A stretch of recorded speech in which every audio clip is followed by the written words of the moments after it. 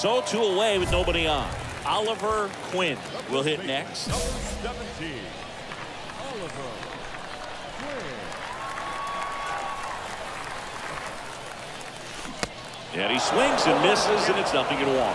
Well, sometimes as left-handed hitter, you know you're going to see at least one or two breaking balls in the at-bat, so why not go up there ready to hit that first one? Just couldn't barrel that one up.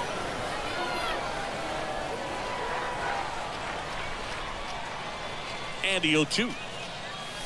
Swung on, and there it goes. It is high. It is far. It is gone.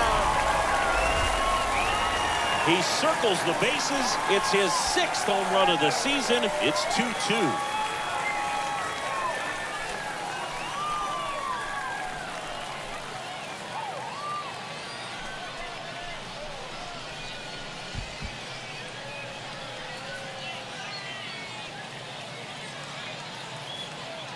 Let's break out the StatCast numbers. It's Singy, it tells us this home run was projected at more than 450 feet. Yeah, and not many players can hit home runs as far as this one. That's a special feeling, and I'm sure he was giggling a little bit as he was jogging around the base.